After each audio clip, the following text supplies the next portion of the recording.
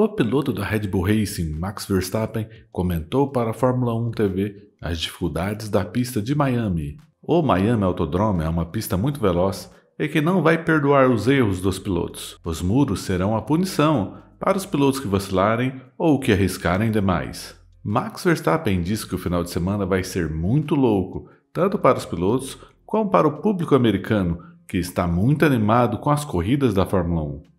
O piloto da Red Bull Racing ainda comentou que a equipe e eles treinaram muito no simulador para se adequar e entender os desafios do traçado em Miami. Max Verstappen ainda comentou que a corrida vai ser complicada por ser mais fácil seguir os outros carros. O tráfego poderá complicar a vida dos pilotos. O piloto da Red Bull Racing não quis falar sobre as modificações e as atualizações nos carros da equipe para esse final de semana em Miami.